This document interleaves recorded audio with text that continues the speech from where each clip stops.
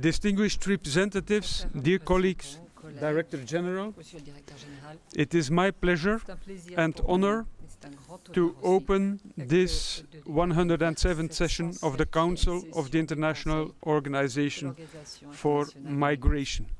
My mandate will have been a short one, but also an Mais ça a été- intensive and constructive one. un mandat intensif In particular, It has been marked by a major global event, euh, the September marqué par de 19th New York Declaration, which, for the first time in the history of multilateral dialogue, le 19 has brought migration firmly on top of the international agenda for years to come.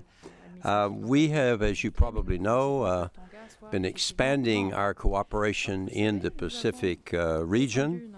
With Tonga's joining IOM, we now have 11 member states uh, among the Pacific Island nations. It is an honor to extend the sincere gratitude and appreciation of the Kingdom of Tonga to the IOM and all the member states for your endorsement and approval for Tonga to become a member of IOM. The Kingdom of Tonga, like many other countries, continues to receive numbers of irregular arri- arrivals by sea and by air.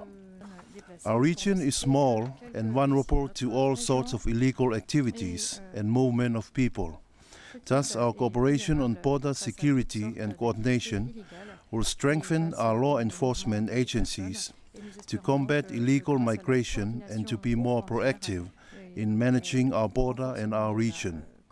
We strongly appreciate and welcome excellent cooperation arrangements with all the member states and looking forward to a successful cooperation with you all.